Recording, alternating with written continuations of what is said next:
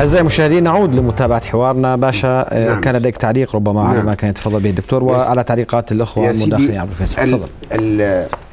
أنا أعتقد المشهد في سوريا وصل إلى وضع لا نستطيع فيه العودة إلى ما يتمناه البعض من أنه يعني تعود الأمور كما كانت. هذا الوضع الآن نحن أمام سيناريوهات مستقبلية عديدة.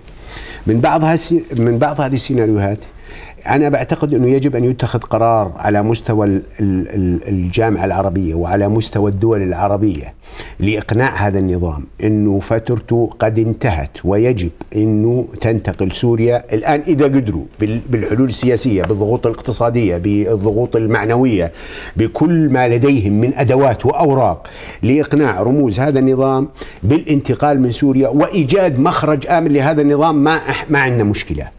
إيجاد مخرج لإنقاذ سوريا، ما يهمنا الآن هي الدولة السورية، كيف يمكن أن ننقذ هذه الدولة السورية من المأساة؟ من الوقوع. لأنه السيناريوهات المستقبلية. يا سيدي عندك الآن سيناريوهين. تفضل. إذا ما استمر هذا النظام كما حصل في دمشق ويحصل في حلب الآن ويحصل في كل الجهات في قصف المدن السورية وتدميرها. كل ما زادت حلقة العنف هاي ستزيد الشروخ والانقسامات بين مكونات الشعب السوري وفي ذهني الآن الطائفة العلوية اللي يستخدم هذا النظام وحشرها في قرنة بحيث إنها أصبح يو أصبح يقول لها دافع بمخالبها إنه آه وهي وهي قسم كبير منها قسم كبير منها سوري ومع سوريا ومع الدولة السورية لأنه, لأنه هذا النظام يحشرها إلى في الزاوية لتتصرف بغير ما تريد. الآن مع استمرار هذا الوضع ستزيد الشروخات وسيف وسيفتح المجال لما نخاف منه من الأيديولوجيا والتكفيريين والقاعدة. سيكون لهم وتحقق كما يقول النبوءة ذاتها. لما يقول النظام إنه القاعدة وغيره هو يفتح النظام للقاعدة كما يفتح النظام للتدخل الغربي. اذا إحنا بين هذا السيناريو المخيف والمرعب للمنطقة بحرب أهلية وتدخل فيها كل عناصر الأيديولوجيا وكل عناصر القاعدة وغيرها وتدفع المنطقة كلها آه، الثمن. الحل الثاني قد يكون التدخل الغربي اللي بيقول لك نرجع على نظرية المؤامرة. لأنه هذا الوضع لا يمكن أن يستمر ولا يمكن أن تتحمل المنطقة. حرب أهلية وحرب آه، آه، لا تنتهي في سوريا إلى سنوات قادمة.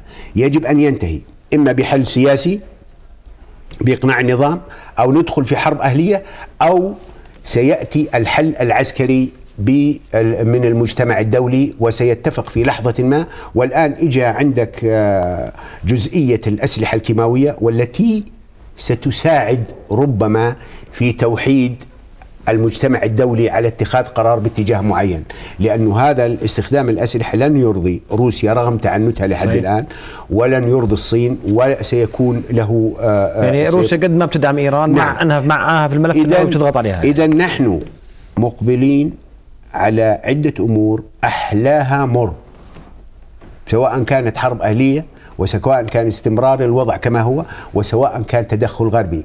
ولكن الفصل في هذا في اعتقادي هو إنهاء نزيف الدم في سوريا ويجب أن ينتهي.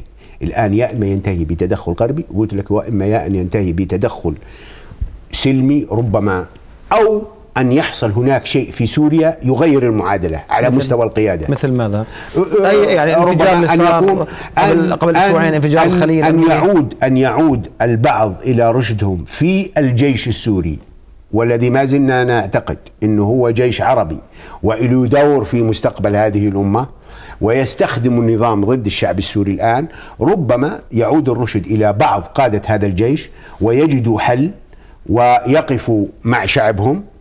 كما وقف الجيش المصري في فترة ما نعم يعني صار اللي صار ولكن لابد من إيقاف هذا النزيف ربما يحصل عندك في بعض الجهات في سوريا أن تتفق القيادة آه، الجيش السوري وأن تحسم هذا الأمر في إخراج الرئيس وإيجاد معادلة جديدة. طيب آه، دكتور إبراهيم الجازي يعني كمان إحنا حتى لو صار انتقال سلمي وجاء نظام بدل بشار الأسد ممكن يصير فينا نفس اللي صار بعد ما راح صدام حسين يجوا اللي كانوا قريبين على النظام ويزوروا الأردن ويبقوا فيها وبالتالي تتحمل عبء ناس جديدين آخرين.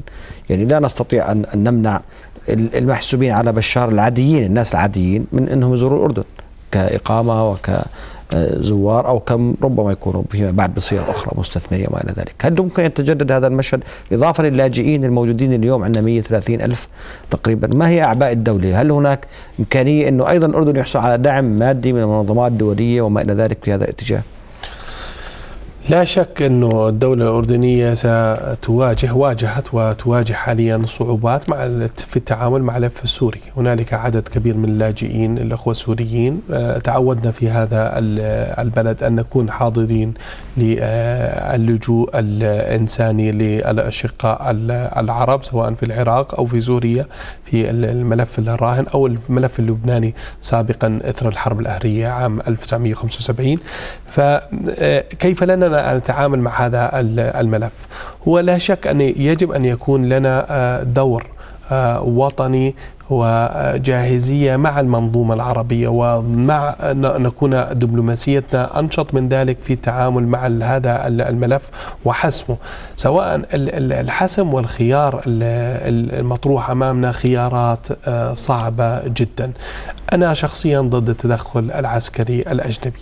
هل هنالك بديل لتدخل عسكري عربي؟ هل لنا أن نحيل هذا الأمر لتفعيل آه، قوة ما تحت مظلة منظمة المؤتمر الإسلامي؟ أو جامعة الدول العربية. هل لنا أن نضغط سياسيا على النظام السوري آه، وعسكر واقتصاديا آه، بحيث إنه يتنحى الرئيس الحالي. ولكن هل المشكلة فعليا فقط في الرئيس أم بالطغمة الحاكمة؟ هل يعني ندعو الله في ان أن هذه الطغمة السياسية أو المحيطين أن يصلوا إلى قناعة معينة بالتخلص من من من, من هذا النظام والوصول إلى انتقال سياسي؟ سلمي طبعا. نرجع على ملف اللاجئين دكتور. ملف اللاجئين إدارة آه، الملف بشكل عام. إدارة الملف نعم. آه، لا شك أنه إحنا في عندنا نشاط مع المفوضية السامية لشؤون اللاجئين في الأمم المتحدة. هنالك معسكرات للاجئين تم إعدادها وتستقطب أعدادا من اللاجئين. نتعاون مع المنظمات الدولية في ذلك. هذا يشكل عبئا ماليا. خدميا. وخدميا. نحن نعتقد يعني مشاكل المياه يعني متفاقمة في دون لاجئين المملكة سواء في جنوبها ولا في شمالها ولا في وسطها. فما بالك عندما نزوح يعني عدد كبير من اللاجئين يثقل البنية الخدمية الموجودة والتي هي تعاني من قصور آه، كبير في كثير من القطاعات سواء الكهرباء أم المياه. فازدياد هذا العدد يؤدي إلى ازديادها.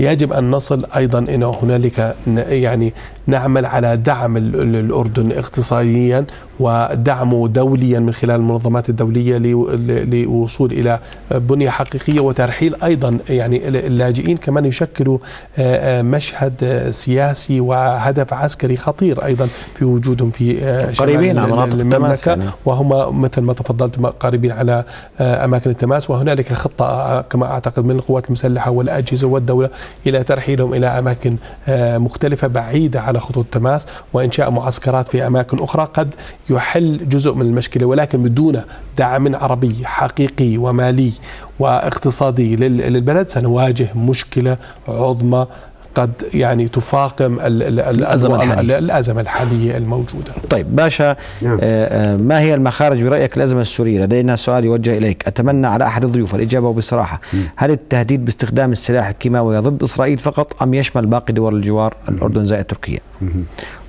هذا السؤال. هل يعني ممكن أن أن يصلنا ضرر؟ يعني لا سمح الله تم استخدام آه، شوف هذا أنا آه، برجع مرة أخرى. أنا لا أريد تضخيم هذا الملف بأكثر مما يحتوي. ولن يستطيع النظام ليبيا كان فيها ولا يستطيع النظام لا أنه يضرب إسرائيل ولا حتى دول الجوار لأنه هذا لن يفيده لن يفيده لن يفيده بإخراجه من الأزمة يعني. حتى يعني إحنا شاهدنا صدام حسين لما ضرب الصواريخ على إسرائيل لم تخرجه من الأزمة. و ولا القذافي ولا ولا القذافي. فأنا أعتقد إنه العملية الأزمة الأزمة السورية آه، أنا بعتقد عملية الكيماوي الآن هي تضخم. نعم هي مهمة. وفي الوقت المناسب في الوقت المناسب لن يسمح المجتمع الدولي للنظام السوري باستخدام الأسلحة الكيماوية وفي حال شعر المجتمع الدولي أنه على وشك استخدامها سيتم تدميرها مباشرة لأنه هاي تؤثر على أمن آه، منطقة دولة في المنطقة وإحنا عارفين الدولة اللي تؤثر على أمن تهم وعارفين مين اللي بيهموا الأمريكان بيهمهم هذا الموضوع. فأنا لا أعتقد أنه ولا ولا متخوف كثير من استخدامه حتى ضد الدول العربية. ما أقول نواجهه أنا أرجع للسؤال اللي سألته. نحن في الأردن ماذا نعمل؟ نحن يجب أن نشتغل على خطين. نحن نواجه أزمة سورية كبيرة جدا وانعكاساتها مؤثرة على الأردن.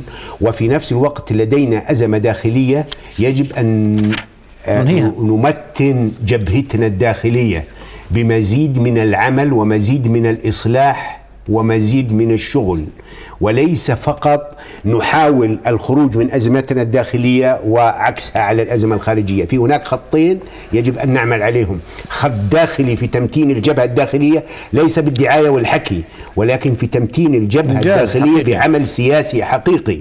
يحترم التطلعات الأردنيين ويحترم توجهاتنا كنا لنكون كنا جاهزين في مواجهة الأخطار الخارجية. وليس فقط هنا الحلول ليست عسكرية فقط سواء هنا أو مع سوريا. أحيانا حلول إبداعية سياسية أحيانا. وحلول عسكرية ومع بعض بدها كلها تمشي. فالأردن عليه حمل مضاعف في هذه المرحلة ونحن ضيعنا الكثير من الوقت حقيقة. فيما يتعلق بتمتين الجبهة الداخلية. طيب هناك أيضا مداخلات من أسامة الشالاتي على الفيسبوك. يقول لا شك أن هناك مؤامرة قوية من العالم جميع ضد الشعب السوري والسوري والصمت العالمي والعربي لا يخدم إلا إسرائيل. محمد بن عامر يقول أنا مع التدخل العربي في حل الأزمة. جولية الضبيط تقول انتصار الجيش السوري وبقاء الرئيس السوري بشار الأسد آه، مشكلة. أحمد الجويهان يقول أن يسقط النظام ويأتي شرفاء سوريا ليستلم الحكم. إبراهيم عبيدات يقول أن توقف الدول العربية تدخل وتحريضها على النظام. من ضمن هذه الدول الأردن وترك النظام السوري يحل مشكلته بنفسه فهو جدير. بذلك هذا في الإجابة على سؤالنا ما هي المخارج برأيك؟ دكتور إبراهيم الجازي أقل من نصف دقيقة. أه، يعني هل تعتقد أننا سنعاني أكثر من الأزمة العراقية عندما واجهنا سقوط نظام صدام حسين؟ آه، تعودنا في البلد أن نواجه أزمات والحمد لله تجاوزناها في الكثير منها ولكن ذيل الأزمات واضح المعالم في بعض الأحيان. تعزيز الجبهة الداخلية الانشغال بالملف الديمقراطي والملف الانتخابي والسير في الإصلاحات السياسية سيرا صحيحا وواضحا يعزز ويمتن ويرضي الجل الأعظم من الأردنيين هو أحد مفاتيح الحل بالإضافة إلى المعضلة اللي عندما نتكلم عن لاجئين الدعم العربي والاقتصادي هذا جزء من المشكلة ولكن الأساس هو أن يكون جبهتنا موحدة وقلوبنا على بعض ونسير في مسيرة الإصلاح لأنه هذا هو الحل الوحيد والخيار الوحيد الذي آه، أمامنا آه، لأنه إحنا آه، نظامنا ليس نظاما دمويا وشعبنا أيضا يستحق الحرية والديمقراطية ضمن هذه المنظومة شكرا. معالي الدكتور إبراهيم الجازي وزير العدل الأسبق وأستاذ القانون مشارك في الجامعة الأردنية معالي أو معالي الباشا والمحلل العسكري. إن شاء الله معالي الدكتور محمود درديسات شكرا لمشاركتك وأيضا مساهمتك معنا. شكرا لكل من ساهم معنا بهذه الحلقة من مداخلات عبر الفيسبوك. أعزائي المشاهدين هذه تحية من فريق البرنامج. برنامج أستودعكم الله وإلى اللقاء.